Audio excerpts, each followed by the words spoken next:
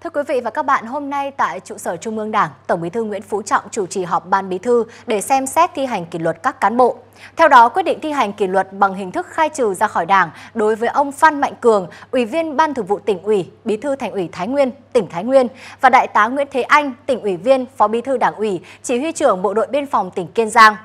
Ban Bí thư nhận thấy ông Phan Mạnh Cường khi là trưởng ban quản lý các khu công nghiệp Thái Nguyên kiêm giám đốc ban quản lý các dự án đầu tư xây dựng khu công nghiệp giai đoạn 2013-2019 đã vi phạm các nguyên tắc tổ chức, sinh hoạt đảng và quy chế làm việc, vi phạm quy định về những điều đảng viên không được làm, thiếu trách nhiệm, buông lỏng lãnh đạo chỉ đạo, thiếu kiểm tra, giám sát, có nhiều vi phạm trong quản lý sử dụng tài chính, ngân sách, tài sản, đất đai. Ông Nguyễn Thế Anh trong thời gian giữ chức vụ Phó Cục trưởng Cục Phòng chống ma túy và tội phạm, Bộ đội Biên phòng, Phó tránh Văn phòng Thường trực Ban Chỉ đạo Quốc gia chống buôn lậu, gian lận thương mại và hàng giả, Chỉ huy trưởng Bộ đội Biên phòng tỉnh Kiên Giang đã vi phạm nguyên tắc tập trung dân chủ và quy chế làm việc, thiếu tu dưỡng rèn luyện, suy thoái về phẩm chất chính trị, đạo đức, lối sống, nhận hối lộ, vi phạm quy định về những điều đảng viên không được làm.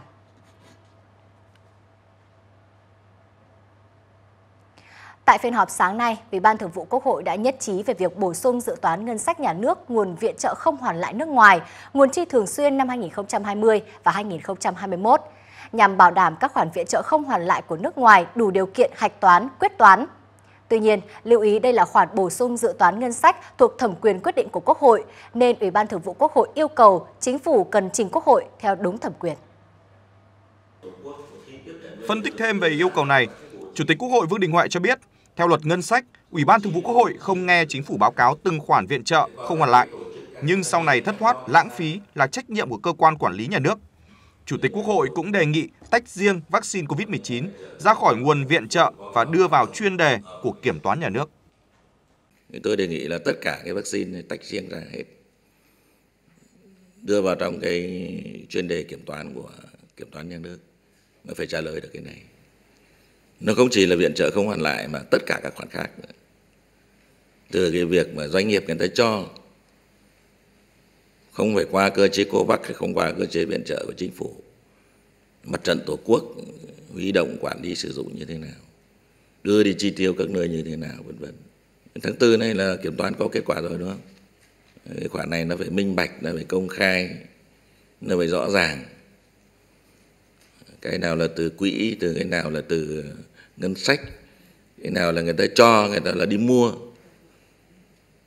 tổng liều và cuối cùng cộng lại thì nó phải bằng tổng cái liều đấy chừng đấy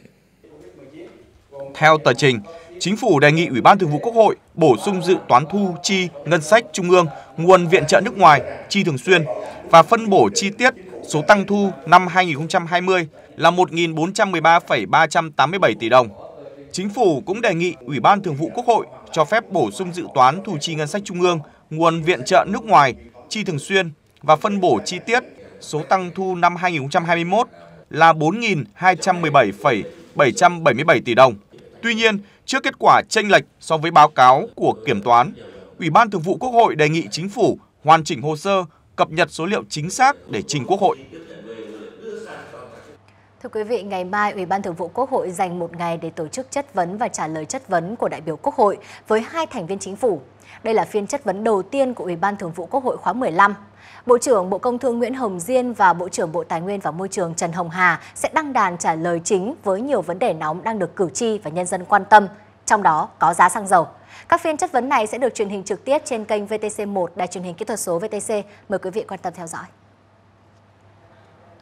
Còn bây giờ sẽ được chuyển sang những thông tin liên quan đến thị trường. Thưa quý vị và các bạn, giá xăng dầu và giá ga tăng khiến cho chi phí sản xuất đầu vào của tất cả các ngành sản xuất dịch vụ đều bị ảnh hưởng. Các doanh nghiệp thừa nhận đang chịu sức ép tăng giá rất lớn. Tại thành phố Hồ Chí Minh, một số doanh nghiệp bắt đầu tăng giá nhiều mặt hàng thiết yếu như là mì, dầu ăn, đường, bột sữa và điều này chắc chắn sẽ làm ảnh hưởng đến sức mua của người tiêu dùng. Ghi nhận của các phóng viên thời sự ngay trong buổi sáng ngày hôm nay. Nhiều sản phẩm ăn liền của Asicut Việt Nam đã điều chỉnh tăng giá 5 đến 10% sau nhiều năm giữ giá. Những năm trước, chi phí nguyên vật liệu, nhiên liệu và vận chuyển đều tăng, nhưng đơn vị này vẫn nỗ lực để kiềm giá. Tuy nhiên đến nay, tình hình đã đến mức không thể bù lại được, nên doanh nghiệp buộc phải điều chỉnh tăng giá bán. Giá cả đầu vào, chi phí vận chuyển tăng cộng với vấn đề Ukraine khiến cho nỗ lực kiềm giá của chúng tôi đã đến giới hạn, không đủ để bù đắp lại phần tăng chi phí. Trước những trở ngại lớn về chi phí như hiện nay thì buộc chúng tôi phải tăng giá sản phẩm. Còn tại hệ thống bán lẻ này, giá các mặt hàng thiết yếu như dầu ăn, đường, sữa, rau quả vẫn đang được duy trì mức giá cũ. Đơn vị này hiện vẫn đang thương lượng kéo dài thời gian áp dụng giá mới theo thông báo của nhà cung cấp, nhưng cũng chưa biết sẽ duy trì được trong bao lâu trước áp lực tăng giá đầu vào rất lớn như hiện nay. Hiện tại là có rất là nhiều ờ, đơn vị nhà cung cấp đang yêu cầu tăng giá đối với chuỗi ờ, Vincommerce nhưng ờ, chúng tôi đã cố gắng để kiềm giá đến thời gian lâu nhất có thể để khách hàng được hưởng lợi trong bối cảnh cái nền kinh tế đang bị tác động chung như thế này. Biến động giá nhiên liệu chắc chắn sẽ lan sang các nhóm hàng hóa khác và tác động trực tiếp đến giá hàng tiêu dùng. Trước sức ép này, theo các chuyên gia, các doanh nghiệp cần chủ động để theo dõi, thay đổi nguồn cung nguyên liệu hợp lý. Một là phải tăng cái sản lượng sản xuất. Cái thứ hai nữa là tìm các cái cơ hội để tiết giảm chi phí ở các cái công đoạn, các lĩnh vực khác. Và chúng tôi cũng đang tìm kiếm thêm các giải pháp về tự động hóa để giảm bớt cái ờ, nhân công ông sản xuất và tăng cái hiệu quả sản xuất cao hơn. Các doanh nghiệp cũng cần phải tính toán lại ở những cái ngành hàng nào, những mặt hàng nào mà phụ thuộc vào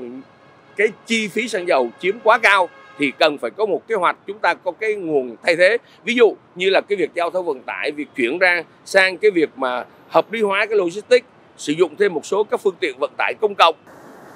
Hiện giá nguyên vật liệu như bột mì và bơ tăng mạnh nhất nên những sản phẩm thuộc ngành thực phẩm, đồ khô, bánh kẹo, mì đã bắt đầu điều chỉnh tăng giá. Mặt hàng dầu ăn đang có mức tăng mạnh nhất, một số thương hiệu tăng đến 135% so với trước dịch, trong khi sản phẩm sữa các loại tăng khoảng 5%. Ngoài ra, nhiều mặt hàng thiết yếu khác cũng đang rụt rịch tăng giá. Trong thời gian gần đây, do ảnh hưởng của dịch Covid-19 cùng với giá các mặt hàng hải sản thiếu tính ổn định, đặc biệt là giá xăng dầu liên tục tăng cao khiến cho việc ra khơi khai thác, đánh bắt hải sản của ngư dân Nghệ An gặp nhiều khó khăn. Tàu cá nằm bờ dài ngày vì thua lỗ nặng, ngư dân bỏ việc, thậm chí là phải bán lỗ tàu thuyền để chuyển đổi sang nghề khác hoặc là chuyển sang mua tàu công suất nhỏ hơn để duy trì mưu sinh.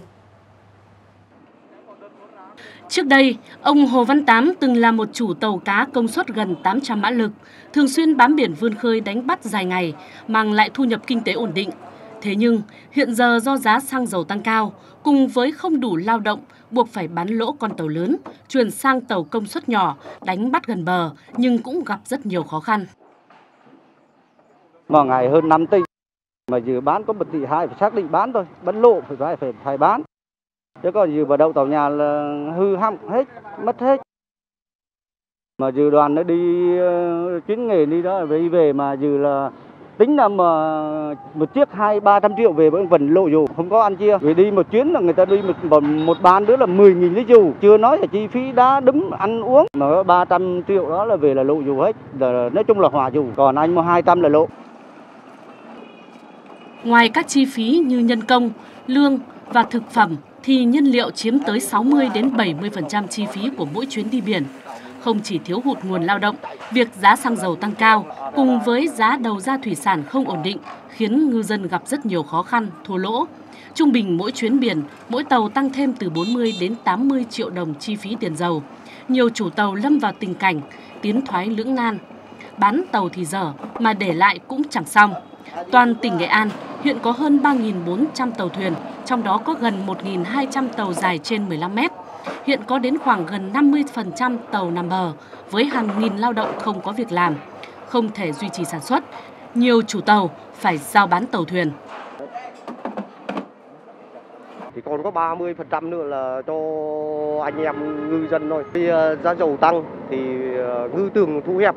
thì sản lượng đánh bắt về là cũng đáp ứng được ờ, cái cái cái cái, cái nhu cầu của họ thu nhập vào nên là họ là đi ờ, làm các cái công việc khác như đi nước ngoài. Thu nhập à, của lao động giảm. Từ đó thì một bộ phận lớn cái lực lượng lao động ở địa phương là chuyển nghề hoặc là không tham gia hoạt động khai thác thủy sản nữa. Dẫn đến cái đội tàu nằm bờ khoảng tầm 30% cái cái cái số tàu của huyện hiện nay. Huyện đang vận động động viên người dân à, tiếp tục vươn khơi bám biển khai thác hải sản. Trong đó thì nâng cao vai trò của các cái tổ hợp tác tổ uh, hoạt động trên biển đặc biệt là vai trò của từng cá nhân ở hộ hội gia đình ở trên trong chung vốn đóng tàu để mà duy trì được cái ờ, lực lượng lao động giá xăng dầu tăng cao không những gây khó khăn về kinh tế cho ngư dân, về lâu dài sẽ gây ra nhiều hệ lụy trong việc sử dụng và phân bố nguồn lao động tại địa phương. Nguy cơ khan hiếm nguồn lao động khi giá xăng dầu ổn định, nghề cá được phục hồi là điều dễ xảy ra.